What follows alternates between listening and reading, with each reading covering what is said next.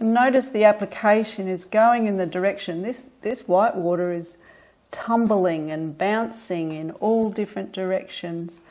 Be wary of going all in the same direction, like little soldiers, all in a row, and then making that bounce all the same all the way along. It uh, in nature, it's coming from this way and coming from that way and bouncing, and and you want to give that tumble effect. And to do that, you need to move your pastel in different directions and and feel it tumbling in different ways. Okay, now I'll get into my highlight whites that aren't really white. They've all got a little bit of pink, a little bit of lemon, um, a, lot of warmth in this one, which I love. And let's see how they shine. This one's got a lot of pink to it.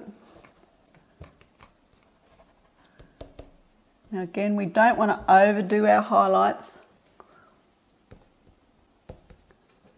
or else they'll no longer be highlights. A little bit of water trailing through here. Lovely highlight as it falls. It crashes in that little bit of a wave. And that's about it. I'm hoping that by watching this demonstration, it's just a quick sketch of, of a seascape, but gives you an idea of how to make a wave turn, how to paint rocks, and how to get this white water to feel like it's textured in white without using white. I hope you enjoy your seascapes.